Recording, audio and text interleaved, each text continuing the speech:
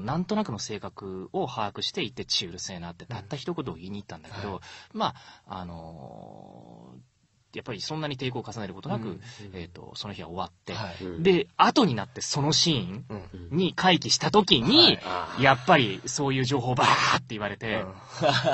おおまあ、そんなに、あの、じゅ重要なというわけではない。まあ、重要な、重要じゃないセリフはないんだけど、血うるせえなってたった一言なんとなく言いに行った自分が恥ずかしくなっちゃって、